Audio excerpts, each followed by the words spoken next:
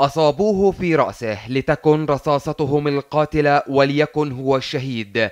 إياد عمر سجدية 22 عاما من مخيم قلنديا تصدى لاقتحام جنود الاحتلال ومن فوق إحدى البنايات كان يرشق الجبات العسكرية بحجارته التي لم تخطئ رؤوس الجنود في إصابتها فيما لم يكن يعلم أن على قبالته أحد قناصة الاحتلال وأنه أصبح الهدف.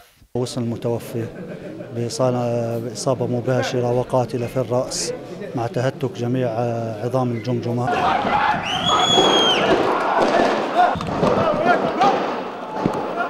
الحكاية بدأت بعد الساعة التاسعة مساء. جيب عسكري يضم عددا من ضباط الاحتلال يتجرأ باقتحام المخيم الذي وسرعان ما استنفر شبابه للدفاع عنه بعد اكتشاف أمر الجنود. ليحرق الجيب العسكري ويفر من داخله الجنود أمام أعين الشبان المتصدين.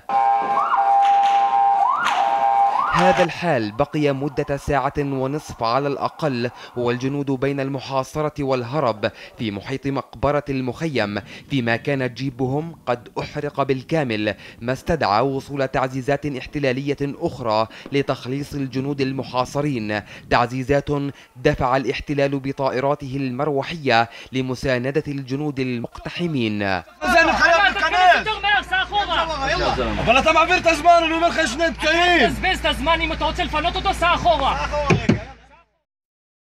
وفي تلك المواجهات أصيب جنديان بجروح بالكاد استطاع إسعاف الاحتلال إنقاذهم فيما منع الاحتلال طواقم الإسعاف من الوصول قدر الإمكان حاولنا توثيق ما يحدث من داخل مركبة الإسعاف لكن الجنود أصروا على المنع وأصرينا على التقاط مشهد الجيب العسكري المدمر على أيدي الشبان خلال سحبه خارج أرض المخيم.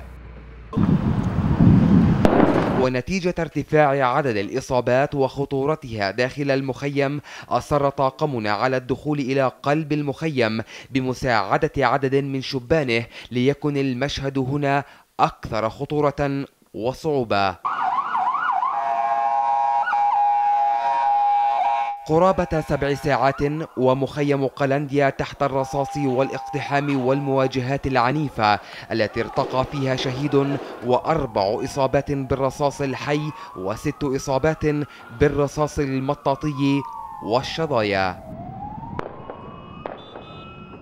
ظنوا أن دخولهم لن يطول فأحرقوا مركبتهم وأصابوا عددا منهم وبذلك يكون المخيم الذي قدم أكثر من 12 شهيدا لن ينسى نكبته ومحتله. من مخيم قلنديا للاجئين شمال العاصمة المحتلة علي دار علي تلفزيون فلسطين.